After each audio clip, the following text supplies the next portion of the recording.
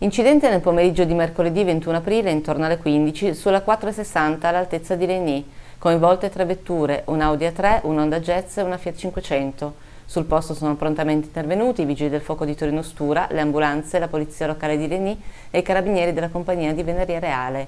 I vigili del fuoco hanno estratto i feriti di due delle vetture. Il bilancio è di tre feriti trasportati in ospedale. Al vaglio la dinamica del sinistro. La 460 è rimasta bloccata al traffico il tempo necessario a soccorrere i feriti, rimuovere le vetture e ripulire la carreggiata.